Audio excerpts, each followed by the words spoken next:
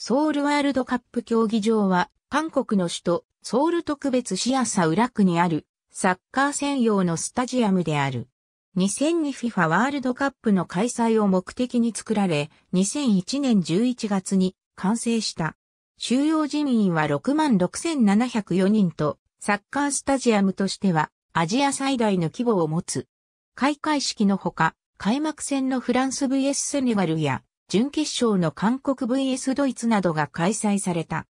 現在は、韓国代表の試合が開催されるほか、K リーグ FC ソウルのホームスタジアムとなっている。2013年7月、サッカー東アジアカップ2013の会場の一つとして利用された。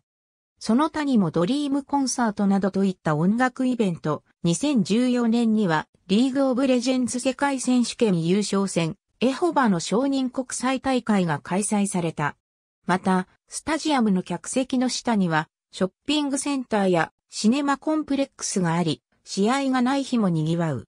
FC ソウルの試合がない日には競技場内が公開されており、観客席や選手のロッカーピッチサイドまで入ることができる。入場料は1000ウォン。当初は、ウェイワ道の乱芝島ゴミ処分場跡での建設が予定されていたため、現在もこのスタジアムは上岩と呼ばれることがある。